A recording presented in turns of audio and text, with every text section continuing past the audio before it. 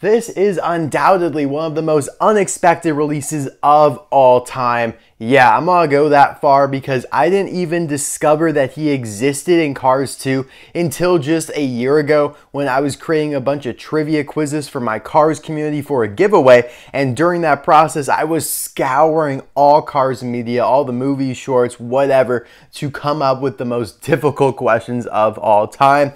Now, I guess this actually renders that quiz inaccurate because when I saw this guy in the movie and I saw, holy crap, he has the Vern's taxi decals. He has the Vern's head bar there on the top. This must be Vern. I mean, it's the same kind of model sedan, right? Almost, kind of. I mean, we only get a back look at him in the movie, but I thought, okay, Vern, it's been like five years since we last saw Vern in Cars 1. He must have gotten a new paint job. And so I put in the quiz which of these characters has appeared in multiple Cars films? I slipped Vern in there and just absolutely mind screwed everyone. People were mad at me. Kind of became a meme that Vern's going to rail you just because of how sneaky he is. So I'm sorry, everyone. This obviously now is not Vern, but Revney Criante. He is now evidently an employee for Vern's taxi company. Now we're going to whip out Vern's bio in the Meet the Cars book because I feel like there's something a little contradictory in it, but we'll get to that in a little bit here.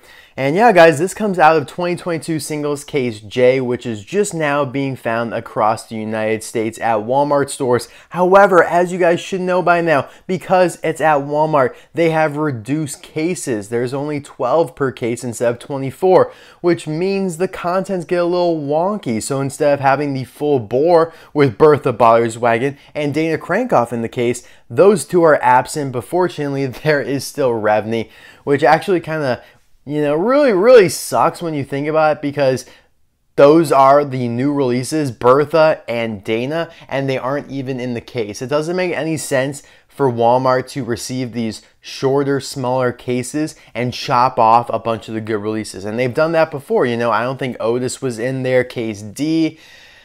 Jae with VR headset was, but I'm not confident that all the new releases have been even available at Walmart. It's just super weird to think about, but yeah, guys Hopefully they show up the 24 count cases at Target stores here in the United States as well.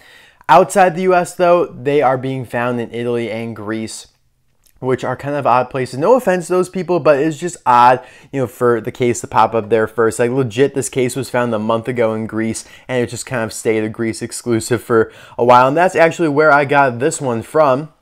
Actually, no. Oh my gosh. Oh man, I'm silly. Sorry, excuse me. I did buy some from Greece, but this one is one of the USA Walmart finds from a California seller because, you know, I don't go out hunting much, and when I do, it's usually unsuccessful. So I decided to save myself gas and, you know, just get it. Get it, you know, make sure I get something concrete in my hand instead of just, you know, oh, aimlessly walking around Walmart for five hours of my day. But yeah, I love this release. Like I said, unexpected. It was unexpected that they even put Vern's taxi back into the movie. I mean, obviously, you know, it was great to see Vern here in Cars 1, right? I mean, no shame, no shade to the original Vern, but I don't know. It's just odd that, you know, that is one of the tropes. That is like one of the things that they carried on over the Cars 2. It's like a little Easter egg. Now, as far as we know, there is no Vern Taxi in Cars 3, which kind of stinks because it breaks, you know, the lineage there. I don't know why. I don't know. There's a lot of breaking of lineages in Cars 3. Like, no Kachow for McQueen, no Van and Minnie, no Mia and Tia. So, a lot of disappointments just to keep it at that. I feel like I'm rambling a lot about Revney here, but there's just so much to talk about, and he's such a great release. But yeah, he's looking good, you know, on the Red Riders packaging there. Love his expression. Mine has like a little weird black booger right there. Like I hope that comes off. But yeah, it's just been kind of chilling in there. Hopefully I could just shake it off. On the back here, they do get the movie right, which I really commend them for doing since he is such an obscure background character, which I will show him in the movie and we'll talk more about that later. But yeah, as he in Cars 2, Chisaki, Artist Ramone, or as they call him now, Ramone Green, Shara, Francesco Bernoulli, Otis, Lewis Hamilton, and Sarge are all featured on the back of the package. all of which were released by now. We're kind of narrowing in on the end of. Oh man, hold on one second. We are narrowing in on the end of the mainline in terms of cars 1, 2, and 3 stuff, and there's going to be a lot of on the road stuff coming in the mainline here, whereas, you know, the regular stuff will just kind of be reissues from previous cases, if you guys know what I'm saying. Now, I'm trying to find Vern's bio here in the Meet the Cars book, but he might have gotten chopped off from the like newest version, which really would suck. Let me go to the index here. That would be most wise, Disney Docket. Most wise. Sure enough, he did. All right, you know, I'm just going to chat with you guys while I look for my other book here. You know, I have all the books kind of chilling nearby, so this shouldn't be too difficult. Uh, there it is. I see it. I see it. I see it. All right, Vern better be in this one. Or maybe he's not even in these books at all. Maybe I'm just going on a wild goose chase. Maybe he is actually just from the Cars Blu-ray Finder game. Hmm. Probably is. I'm just making a fool of myself. That would be pretty typical. Why isn't there even an index in this one? That kind of is weird. All right, yeah, wow, that was embarrassing. All right, I guess there's no Vern's bio in the Meet the Cars books at all. So excuse me, guys. I'm sorry about that.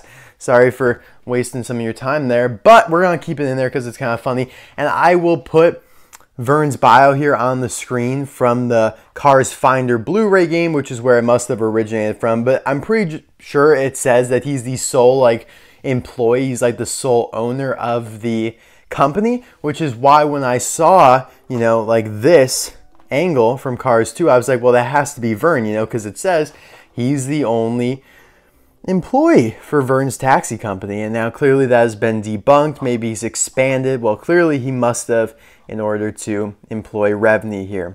But we need to open this guy up and then we'll talk about some more stuff later.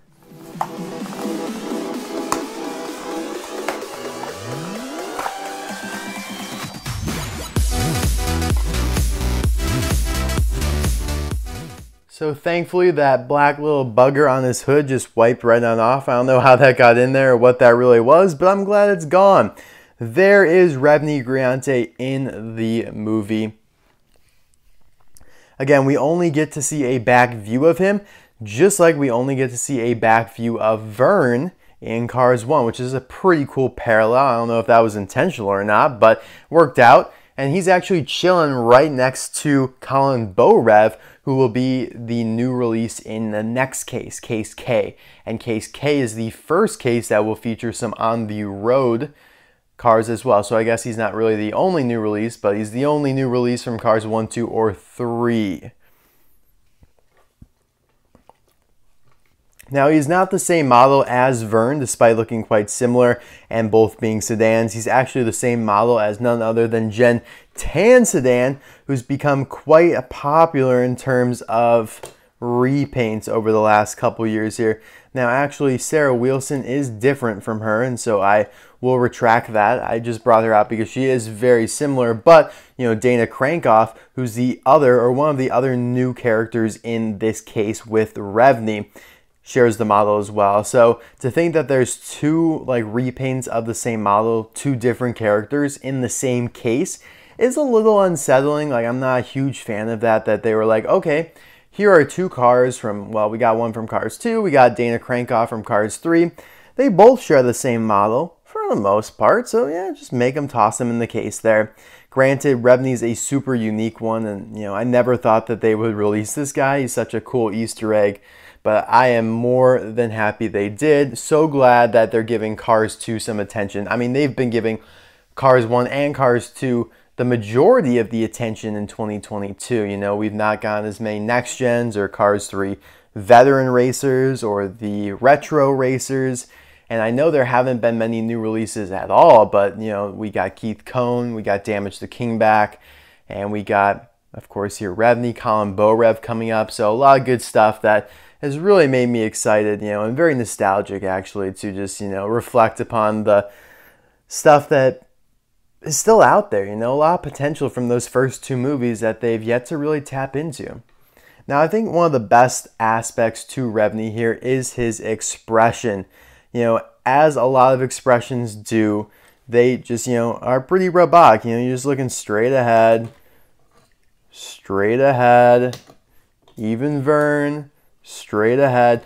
No, Revney, he is looking off to his right, which is awesome. Adds so much personality. I mean, you guys have no idea. I mean, maybe you do, but to just position the eyes a little bit off to one side or the other, it gives eons more of a personality to the car than if you know you're just robotic staring straight off into space. Now the mouth is also great because it really does match how his eyes are looking, just kind of a little bit of a shock expression. Not really upset or anything, but just kind of surprised. He's just like, what's going on over there? You know, is that somebody I could pick up? Uh, and yeah, we're not going to get into how taxis work in the Cars universe because, yeah, that's a rabbit hole we don't want to go down. Do cars actually get into them? Yeah, no, we're not going to even answer, I'm not even going to try to answer that monstrously tough question. You guys can duke it out in the comment section below. But yeah, he's got a nice grill here. Again, this is all just Pixar sending them the art and Mattel copying it because he's not in the movie, so there's nothing to go off of in terms of the front. Nice rims here, just typical silver hubcaps there, which quite shiny actually. Vern's Taxi. Now this is where we get a look at the new logo here. So it's got a blue background. And we have the number, which has been added, 9388885. Of course, they don't put the area code on there, just assuming that, you know, you know the area code from wherever you are currently located. Saves them on some graphics work. So before, it just was Vern's Taxi, and there was no number to call. So that's kind of interesting that they added that. When I actually, I didn't say this before I wanted to, but I asked Jim Scavenger a year ago to make this custom because I thought it would just be a repaint of Vern, slap this decal on the side and everything, and bam, you're done, right? So first of all, I'm you know happy that he didn't end up doing that one. He just didn't end up having the time for it, but Mattel ended up releasing him anyway. So I don't know. Maybe Mattel's secretly watching me because legit, guys, I asked Jim Scavenger to make a custom of this last year. So that's pretty wild that, you know, here we are 365 days later and I have the actual diecast. Like that is pretty cool. But yeah, I did not think that they added the number there. So it would have been inaccurate anyways if I had to make the custom. He still has the Vern head bar, light bar, whatever up on the top, but this time it's a plastic piece that protrudes from the main metal body, whereas with Vern, regular Vern, Daddy Vern, it is part of the metal body there. Now they did do a lenticular version of Vern, but I hate the lenticulars and not even gonna show it. It's so bad. Vern was released in 2010 and 2013, but we haven't seen him for nine years surprising too because they've released Donna Pits, Fred, who else? Who else? Jonathan Wrenchworth, and those were always on the same kind of path. Like Donna, Jonathan, and Vern were all released in 2010, all released in 2013, but then Vern vanished, but the other two were released in 2016 and now in 2022. So hmm, maybe you just think of Revney as Vern's replacement, so Vern only truly missed 2016. Maybe you can think of it like that. All right, let's move on. I love the pure white color on this guy. You don't really get too many pure white models, even though we're looking at Tom Talk there, but that's a rare exception, literally a very rare car to find. Now his license plate is unique. I was very worried about what kind of license plate they'd smack on him just because, you know, Mattel has a tendency to just duplicate license plates off other cars, especially if they're the same model. So thankfully, he differs from Jen Tansedan's model here quite a bit. It is 9-03HJ. I do not know the significance of HJ, but you know the 903 is probably September 3rd. And I can't read the text above it. It's pretty blurry. Thanks, Thailand. But this decal is pretty good, and so is the plastic insert there. Eyes look really solid as well, like I commented on. Man, I would love, I would die, I would pay to know the significance of some of these license plates because there's been a ton. Like, I mean, every time we get a new character, I mean, there's almost always a new license plate now. So they've really worked on correcting their, you know, everyone has the fishbowl license plate. Everyone has the MJ115 license plate. I mean, legit, so many cars had both of those license plates. So I'm glad they're working on that. But so now I just want to know what all these mean, right? Would really be cool. Now his base is pretty typical here, made in Thailand. R18A means he was made during the 18th week of 2022 at the A factory. Gorgeous car here. Gorgeous. So yeah, a little bit closer comparison here with Jen Tansedan. Technically, they are different models if you actually want to get technical about it because Revney has the insert for the light bar up there. Their rims are different, different shape, not just color. But yeah, I would not be surprised if this Dana Crankoff model gets used quite a bit over the next few years. I mean, like I said, I should have said Jen Tansedan model because, yeah, Dana Crankoff is, again, another new car in the case here with Revney that is not available at Walmart but is in the full 24 count case. And so, yeah, that's the same model as them as well. Sarah Wilson came close. You know, as I was talking about, I really thought, you know, when I first glanced at her, oh yeah, that's gotta be the same model. And then I was like, wait a second, it would feel really wrong if Dana Crankoff was just like a straight up repaint of her with just a different camera. But then I remembered back to my Sarah Wilson review and I remember commenting on how grateful I was that Sarah is actually a unique model. And if anything, she's more similar to like Skip Richter from way, way back in the day. Another 2010 release. Looks like my Revney might have a chip right there, which kind of sucks. Uh, maybe. I don't know what that little glob is right there. But yeah. Sarah's just a little shorter. Different backs. Different sides and everything as well. Now comparing him a little bit closer to Vern. Vern is thinner and longer. And yeah, taking a look in the movie, this guy does look to be a little bit of a different model than Vern. Even though, you know, at first you think, oh, it's just, you know, a typical sedan, very typical sedan. They have to be the same model. But no, that's actually not the case.